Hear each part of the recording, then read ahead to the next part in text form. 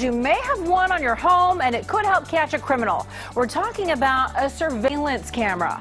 Naibicha Vazquez shows us how one Bay Area city is creating a network of citizen cameras and it's been highly effective. A burglary suspect in San Ramon has given police a very clear close-up of his face thanks to a new surveillance camera network. 31-year-old Daniel Anthony Martinez now has a warrant out for his arrest. Also, last week, San Ramon police say a man was shot in his car.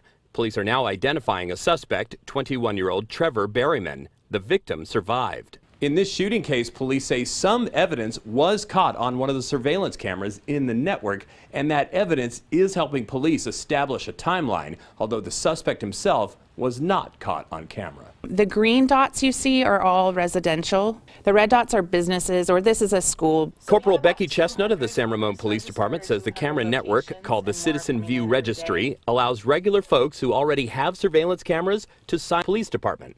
The program has become quite popular lately. People really got into it. We about doubled our numbers of registered cameras since the holidays and the flare incident as well. The flare incident happened in December. Surveillance cameras caught images of people driving around firing flare guns at houses. One broke through a window, another set a carpet on fire. Nobody got hurt.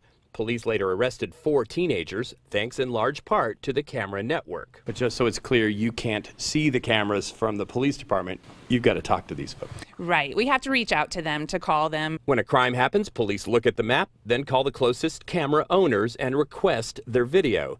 It could save investigators valuable time knocking on doors, and police say it could get criminals off the streets a lot more quickly. In San Ramon, on the night beat, I'm Joe Vazquez.